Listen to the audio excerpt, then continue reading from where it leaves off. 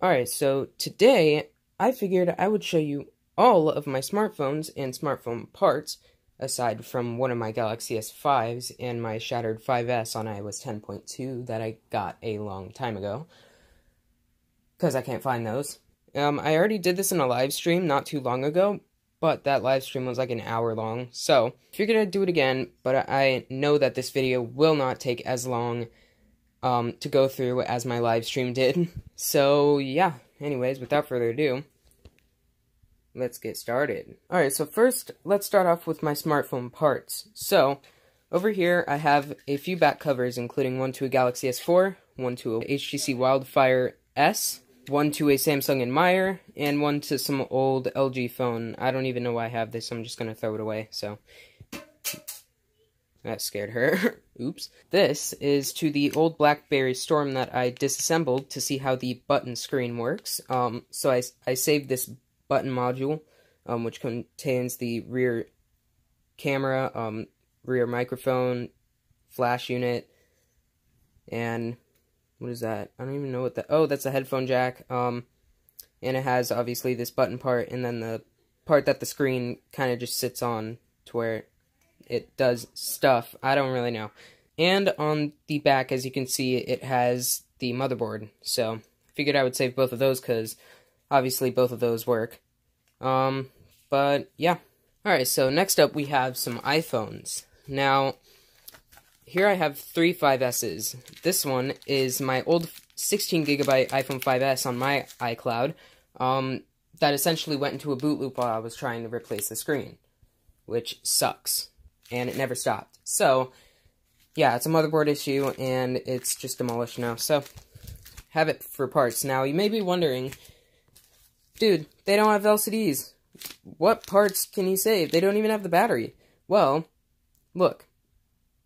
There are speakers, there are cameras, there are flash units, there are ribbon cables, there are buttons, there are housings, there there's just so many things antennas you know like there's a lot of things you can save from these iPhones. Even the little screws, if you need if you need screws, if you like lose them, um, then voila, I have a parts iPhone, and there you go.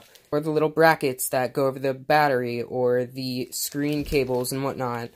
Like, there's a lot of things you can save from these. So, here's a 16 gigabyte iPhone 5S, um, always iCloud locked. And then once again, here's my 16 gigabyte 5S on my iCloud. And once more, here's a 16 gigabyte near mint iPhone 5S that I accidentally cracked um, a little while back while trying to take the screen off. And yeah, it has like a really, really, really good condition housing. So, yeah, that's nice, I guess. It's water damaged, and the button does not work. I have a feeling that's because there's something up with the button. I don't really know, honestly, you know. Um, but yeah, got that. The screen does. Uh, the screen has never worked, by the way. Over here we have an iPhone 4, 16 gigabytes. No, this is an 8 gigabyte, I think. And, um, yeah, it's iCloud locked, bad screen and everything, but still a lot of parts that I could get off of that.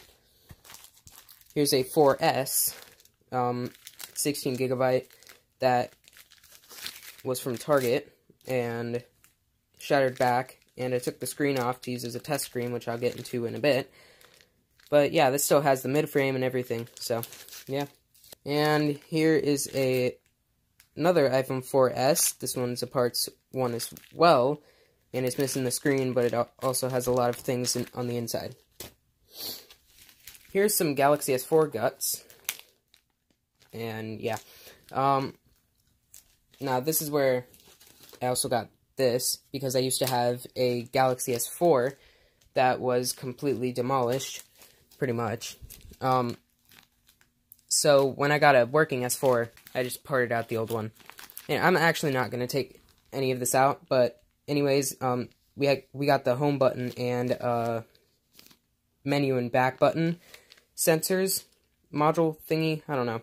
Um, we have the charging port the bottom speaker, the actual home button. Well, not the actual home button, but the thing you actually see, I guess you could say. I got the motherboard in here, And yeah, I got antennas and whatnot. I saved a good amount of things from that phone.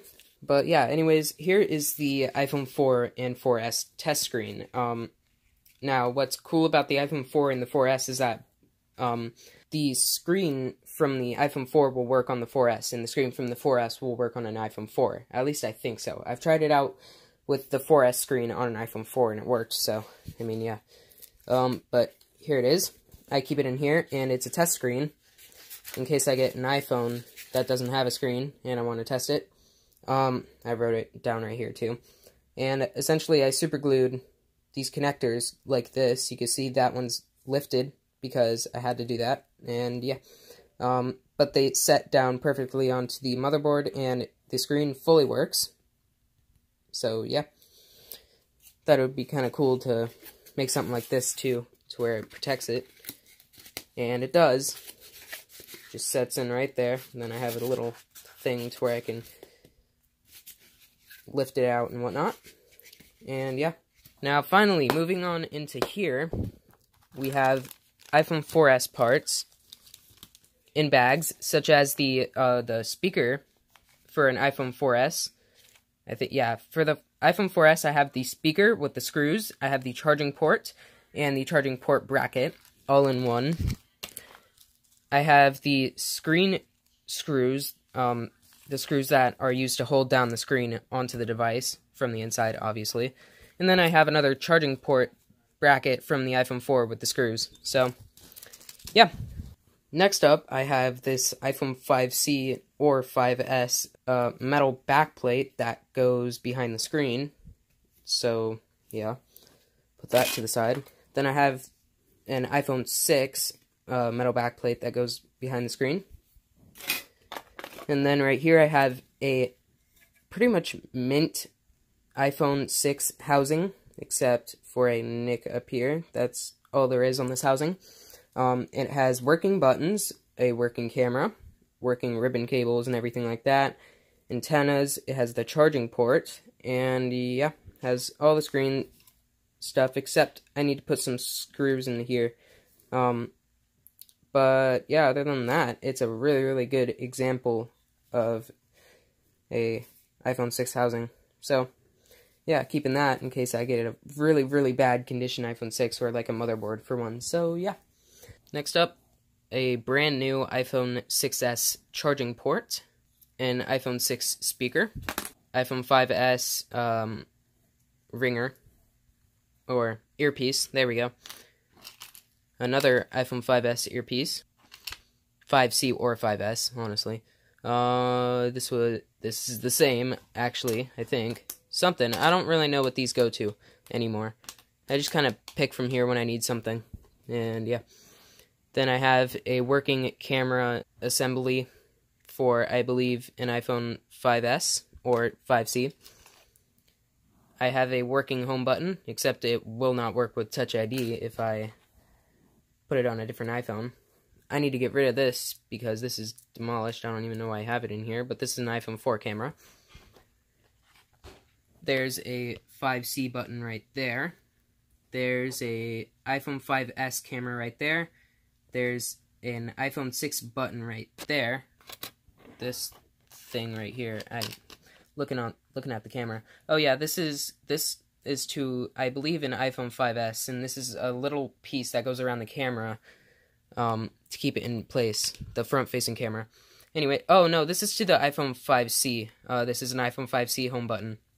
And then here's the actual home button down there. And then I don't know why I have this. This needs to go too. this broken Touch ID with no cable. I don't know. Okay, so over here I have an iPhone 3GS motherboard um, cover thing. I can't even remember now. I got some more over here. This one's to an iPhone 4. This one covers the screen connectors. This one's to a 4S. Covers the screen connectors. Um, I have a motherboard cover for an iPhone 4S right there. Water damaged. With a water damage sticker. Um, I have this. This is to an iPhone 6. Covers the screen connectors. This one is to an iPhone... I don't remember, actually. I believe that's to an iPhone 6 or 6S. Here we got a 5S or 5C screen cable cover. 5S or 5C screen cover, once again. Yet another one. An iPhone 6 SIM card tray. The earpiece cover for an iPhone 5S. We got the back that holds the button in place for an iPhone 6. An iPhone 6 battery connector. Another one. 5S SIM card tray. Uh, there's another speaker cover. Earpiece cover. Um, and then here's a iPhone 5S SIM tray again. And I got whatever that goes to, and then some more nonsense down there. So yeah, I got a lot of little parts I've saved for phones in case I need them. And it's always handy to do this if you like collecting and repairing phones, because then you can just, you don't even have to order anything if you lose it, honestly. It's nice. And finally for the batteries. Ooh. Here is an iPhone 4S battery. Here's an iPhone 5S and 5C battery. Or the SE battery as well, because that's the same as, well, I believe. Um, here's an iPhone 4S battery. Uh, an iPhone 4 battery, aftermarket. This is an iPhone 4S battery. And this is an iPhone 5S battery. So, yeah, that's about it for all the parts I have. Now let's get into the phones. Alright, so let's start off with this iPhone 4. This is a, uh, no, this is an 8GB iPhone 4 on iOS 7.1.2. Here is an HTC phone I honestly do not remember, but it's a really, really cool phone. And as you can see, it not only slides out like that, but it also slides up like a computer. Which is awesome. I think someone's calling me. Yeah, someone's calling me. Be right back. Dang, I was gonna answer that too on camera. That sucks. I should call him back, but I'm not gonna. Anyways, here's a Moto X. Um, tiny crack right there. This is my main phone right now. Putting this to the side. Um, once again, it's a really cool phone. I need a new back cover because all the clips are broken for it. At least most of them.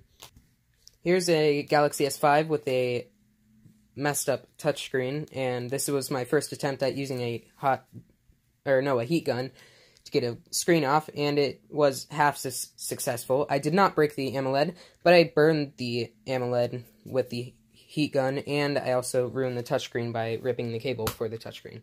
So that sucks. Here's a bad AMOLED Motorola Atrix 2. Here's a Galaxy Nexus. Out of battery. Here is an LG Optimus V. I already know that's out of battery. Here's a Samsung Galaxy something. Don't remember.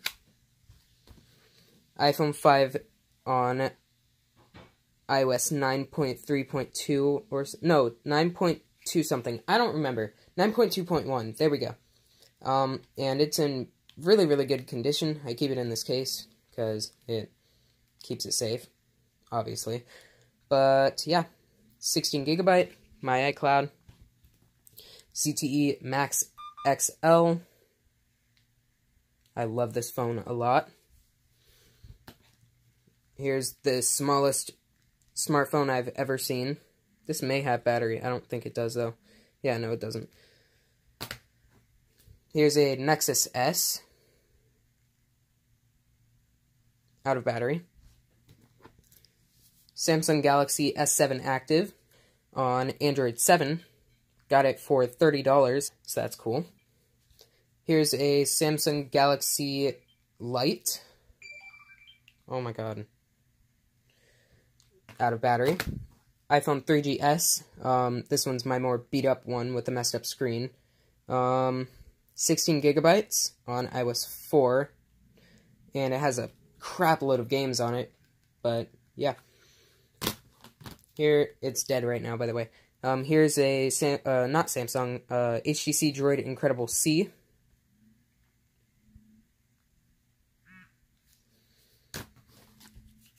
Here's an HTC Rhyme. Oh, oh wait, nope, there we go. I was about to say it's out of battery. Speaking of this, I actually bought a 99 cent HTC Rhyme that's not working, but comes with an OtterBox case. It's in mint condition, same color as this, and by the pictures, there's the tip of a very crappy charger stuck in the charging port. It's not even stuck, it's just like in there, like someone plugged the charger in it and then bent it and it broke off. That's it. But they haven't tried to get it out. like, alright. I bought it though. Here's a Samsung Galaxy S Continuum. Dead. I guarantee you. Yep. LG Stylo 3 on TracFone. Dead. Samsung Galaxy Exhibit. One of the two. Nokia 710 Lumia. Oh wow, this still has battery. Alright. That's nice. LG G3. The $10 LG G3 in mint condition. And all that's wrong with this phone is that the cellular service does not work. Wi-Fi and everything else works, but service does not. So, whatever. Basically, mint, um, not LG, uh, what is this? BlackBerry Storm. Another iPhone 3G on iOS 4.0, 4.0.2. I can tell because the my 4.0.2 one is missing the little metal piece for the ringer. So, yeah. Shattered um, Lumia, I don't remember what this is, honestly. I don't really care. Cracked front and back um, iPhone 4 8 gigabyte on 7.0 point no 7.1.2. Here's this thing. It's demolished. ZTE Majesty Pro dead. Samsung Galaxy S7 Whoop. Oh, wow. Go away. No one cares.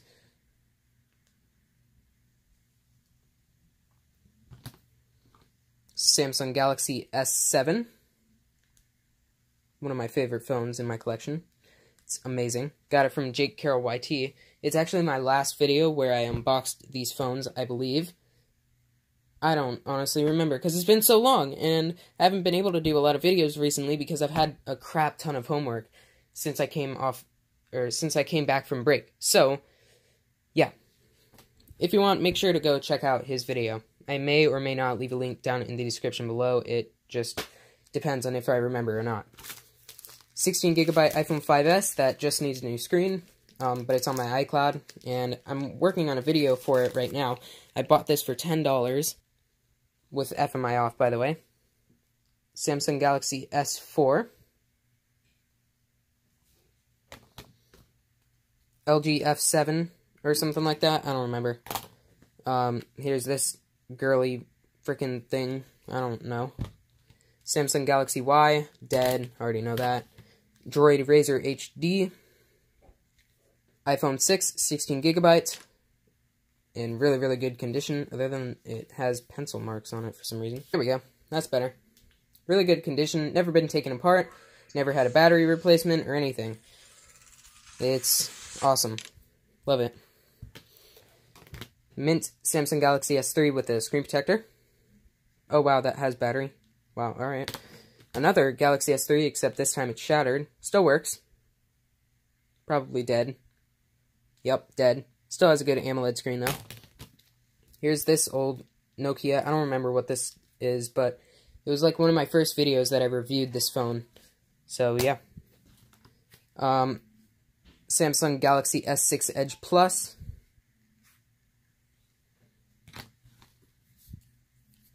LG K3.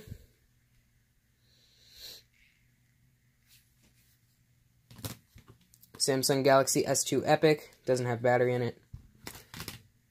Uh, my other white iPhone 3G. No separation in the housing.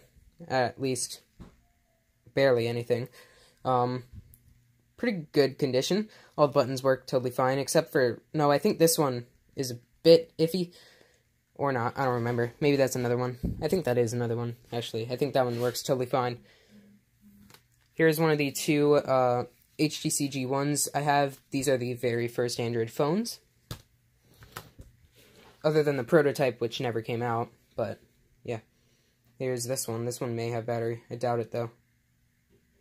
Nothing.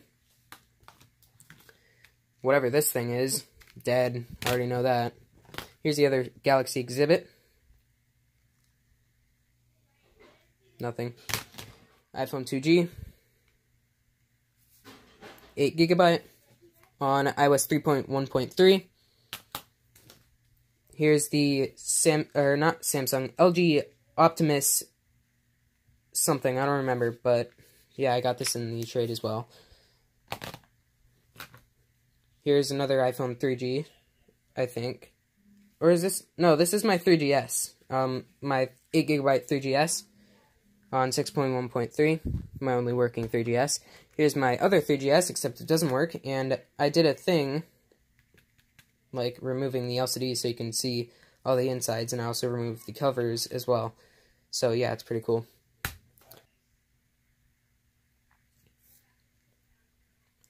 Here's this ZTE. I oh yeah, the ZTE Concord 2 um works, but it's dead right now.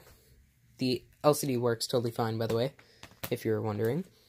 Here's a 16 gigabyte iCloud, well, jailbroken um, iPhone 4 with an iCloud account on it, but I removed it with the jailbreak. Still in the system, though, I believe, so I cannot reset it. Here is my Galaxy J3 Luna Pro. Here's my Samsung Galaxy S5, another one of my S5s, my third one. Is this one on yet? I can't tell. No? This is my basically mint iPhone 3G. HTC Wildfire S. Don't think it has a battery in it. Palm phone with a bad LCD.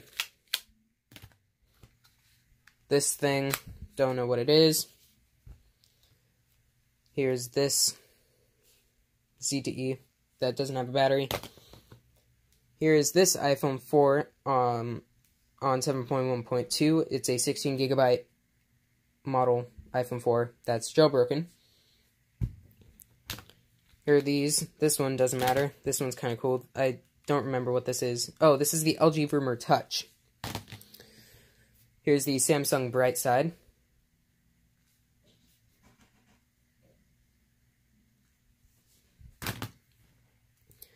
A shattered Samsung Galaxy S Fascinate that I did a drop test on.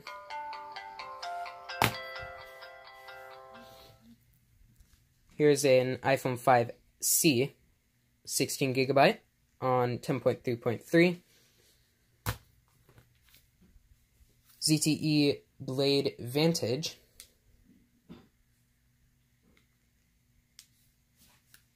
Got it for $5 at Walmart. Here is a Samsung Repp. Doesn't have a battery in it. LG, I don't remember what this is, honestly. But, yeah. Works totally fine. Samsung Dart. Did a couple videos on this, or at least one. I have to have I I have one coming out soon. I don't know when. I just have to do the voiceover for it. So, yep. Ooh, almost through that. This is an uh, Mint iPhone 4S on 7.0.4. Here's my other 4S on 9.3.5 with a replaced charging port, which is nice because now it doesn't turn itself back on when I turn it off. But yeah, 16 gigabytes, and this one is too. Here is an uh, Kyocera Hydro that's it. Just I think this is an original Hydro, so that's kind of cool.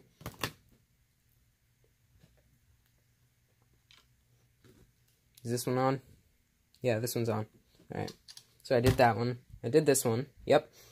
Here is a demolished Galaxy Prevail. Here's an almost demolished, but working Galaxy Core Prime. Here is a Samsung Galaxy S1 uh, what is this, the Vibrant. here is a Motorola Photon with a just non-existing charging port, as you can see. Here is an what is this an HTC? I don't. Dang, I I don't remember what this is, but it's a cool phone. So here you go. It's it had a rough time. Okay, that, that's that's this is not the original color at all. That used to be gray. Freaking wow, that's a lot of smoking. Um, Galaxy Admire, or not Galaxy, just Samsung Admire. This is not the Galaxy version of the Admire. And I think I'm just about done. So here's a Samsung Intercept. Dead, because I never charged it. And yeah, last but not least, I'm recording on my Samsung Galaxy S9 Plus, which is a 64 gigabyte version on Sprint. And that sucks because my carrier is T-Mobile. So yeah. Anyways, I hope you enjoyed the video. If you did, please make sure to leave a like and comment down below which one of these phones is your favorite out of all the ones I've shown, because why not? And yeah, please make sure to hit that subscribe button and turn on post notifications so you don't miss any of this awesome content. But yeah, that's about it for me, so hope you enjoyed, and I hope to see you in the next one. Peace out.